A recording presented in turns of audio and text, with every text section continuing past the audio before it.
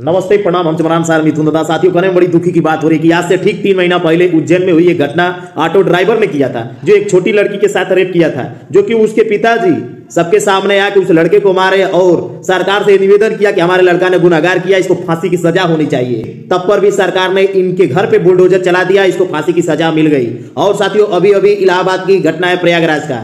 तीन लड़कों ने मिलकर एक लड़की के साथ गैंगरेप किया और उस लड़की ने अपना, उसी मौके पे अपना जान त्याग दी। और बता दो साथियों कि इस तीनों लड़कों को आज तक न इनके घर पे बुलडोजर चला, न ही इनका कभी इन तीनों के पिताजी कभी आए नहीं और नहीं ये कहे कि हमारा लड़का ने गुनहगार किए, इनको फांसी की सजा होनी चाहिए। साथियों, जानते हैं क्यों नहीं सुनाएगी? क्योंकि बीजेपी के बड़े बड़े नेताओं के साथ इन लड़कों का उठना बैठना है। इसके लिए इसके घर पे बुलडोजर नहीं चला, ना फांसी की सजा हुई।